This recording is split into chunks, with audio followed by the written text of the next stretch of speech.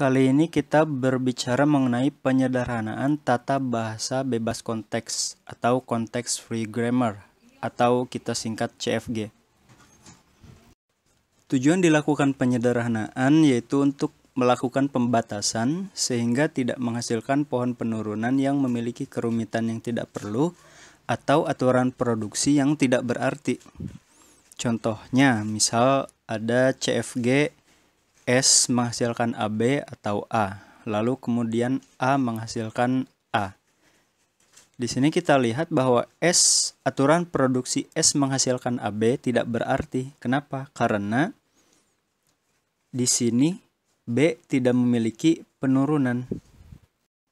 Contoh selanjutnya coba kita perhatikan S menghasilkan A, A menghasilkan B, B menghasilkan C, lalu C menghasilkan D, D menghasilkan A atau A.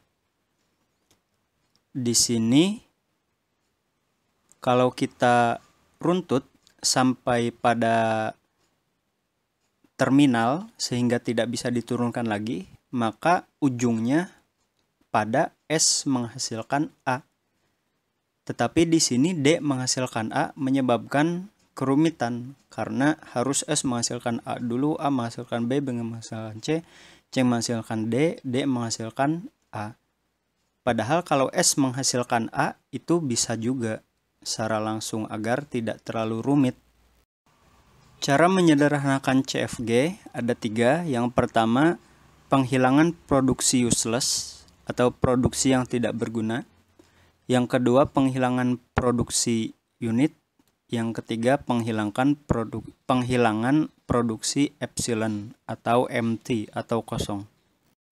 Pada penghilangan produksi useless, kita perlu tahu definisi produksi useless itu apa. Produksi useless bisa didefinisikan sebagai produksi yang memuat simbol variabel yang tidak memiliki penurunan yang akan menghasilkan terminal-terminal seluruhnya. Atau produksi yang tidak akan pernah dicapai dengan penurunan apa pun dari simbol awal sehingga produksi itu redundan atau berlebih. Contohnya terdapat aturan produksi S menghasilkan ASA atau ABD atau BDE, kemudian A menghasilkan ADA, kemudian B menghasilkan BBB atau A. Di sini kita bisa melihat bahwa simbol variabel A tidak memiliki penurunan yang menuju terminal sehingga bisa dihilangkan. Dengan demikian, aturan produksi A ini kemudian dibuang. Konsekuensinya, aturan produksi yang mengandung A yaitu S menghasilkan ABD tidak memiliki penurunan. Sehingga kalau disederhanakan menjadi S menghasilkan ASA atau BDE, B menghasilkan BBB atau A. Kemudian coba perhatikan CFG berikut ini. Dari CFG tersebut kita bisa lihat bahwa aturan produksi A menghasilkan D di situ simbol variabel D tidak memiliki penurunan. Yang kedua, aturan produksi C menghasilkan BB bila kita coba melakukan penurunan dari simbol awal S dengan jalan mana pun tidak akan pernah mencapai C. Kemudian, perhatikan lagi, simbol variabel E tidak memiliki aturan produksi yang menuju terminal. Di sini E menghasilkan AEA adalah satu-satunya aturan produksi dari E. Dengan demikian konsekuensi dari hal tersebut, aturan produksi B menghasilkan E, simbol variabel E tidak memiliki penurunan. Maka dari itu, tata bahasa bebas konteks di atas, produksi yang uselessnya adalah A menghasilkan D, C menghasilkan BB, E menghasilkan AEA, e dan B menghasilkan E. Sehingga kalau disederhanakan, CFG ini menjadi S menghasilkan AA atau B, A menghasilkan AB, B menghasilkan B. Cara penyederhanaan selanjutnya yaitu penghilangan produksi unit. Produksi unit adalah produksi di mana ruas kiri dan kanan aturan produksi hanya berupa satu simbol variabel. Misalkan A menghasilkan B. Keberadaan produksi unit membuat tata bahasa memiliki kerumitan yang tidak perlu atau menambah panjang penurunan. Penyederhanaan ini dilakukan dengan melakukan penggantian aturan produksi unit. Contohnya, misalkan terdapat CFG S menghasilkan SB, S menghasilkan C, C menghasilkan D, C menghasilkan EF, D menghasilkan DD. Di sini aturan produksi yang ruas kiri dan kanannya berupa satu simbol variabel adalah S menghasilkan C dan C menghasilkan D. Sehingga langkahnya yaitu lakukan penggantian mulai dari aturan produksi yang paling dekat menuju ke ter, ke penurunan terminal-terminal.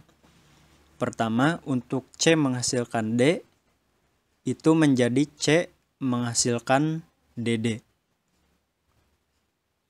Kemudian S menghasilkan C menjadi S menghasilkan DD atau EF. Sehingga aturan produksi setelah penyederhanaan menjadi S menghasilkan SB, S menghasilkan DD atau EF, C menghasilkan DD, C menghasilkan EF, dan D menghasilkan DD. Selanjutnya adalah penghilangan produksi kosong. Produksi kosong adalah produksi dalam bentuk alfa menghasilkan MT kosong atau bisa dianggap sebagai produksi kosong. Penghilangan produksi kosong dilakukan dengan melakukan penggantian produksi yang memuat variabel yang bisa menuju produksi kosong atau biasa disebut nullable. Contohnya, terdapat CFG S menghasilkan BCAD lalu A menghasilkan kosong. Pada kasus di atas, A nullable serta A menghasilkan kosong adalah satu-satunya produksi dari A. Maka variabel A bisa ditiadakan, sehingga hasil penyederhanaannya S menghasilkan BCD. Lalu perhatikan contoh selanjutnya. Terdapat CFG S menghasilkan BCAD, A menghasilkan BD atau epsilon atau kosong. Pada kasus di atas, A nullable, tetapi A menghasilkan MT ini bukan satu-satunya produksi dari A. Sehingga yang dihilangkan hanya A menghasilkan kosongnya saja. Dengan demikian, hasil penyederhanaannya adalah S menghasilkan BCAD atau BCD, lalu A menghasilkan BD. Namun terdapat pengecualian, yaitu jika MT dihasilkan oleh simbol awal, yaitu S menghasilkan kosong, produksi kosong tidak dihapus, atau dengan kata lain tetap dipertahankan. Pada praktiknya, ketiga penyederhanaan tersebut dilakukan bersama pada suatu tata bahasa bebas konteks atau CFG, yang nantinya menyiapkan CFG tersebut untuk diubah ke dalam suatu bentuk normal Chomsky yang dipelajari pada materi selanjutnya. Hal yang memerlukan perhatian adalah penghilangan suatu tipe produksi bisa menghasilkan produksi tipe yang lain. Hal ini didasari kenyataan bahwa penghilangan produksi kosong bisa menghasilkan produksi unit. Tapi perhatikan juga bahwa penghilangan produksi unit tidak menghasilkan produksi kosong dan penghilangan produksi useless tidak menghasilkan produksi unit maupun produksi kosong.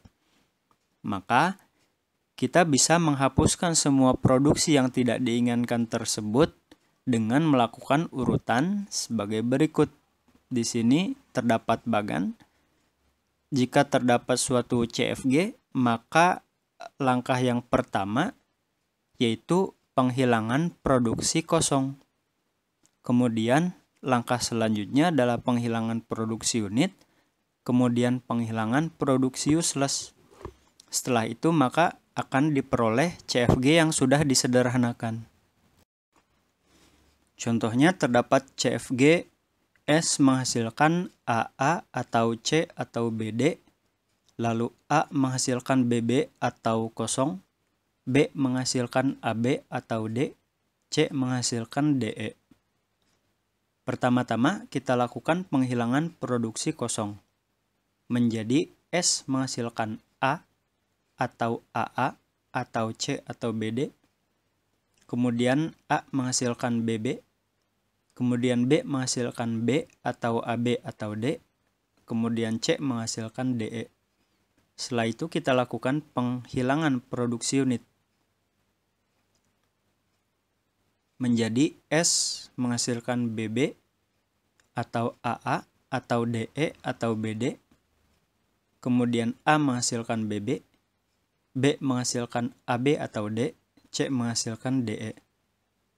Terakhir kita lakukan penghilangan produksi useless menjadi S menghasilkan BB atau AA atau DE atau BD. Lalu A menghasilkan BB lalu B menghasilkan AB atau D. Nah, CFG yang ini sudah disederhanakan. Dan tidak terdapat lagi produksi kosong, produksi unit, atau produksi useless.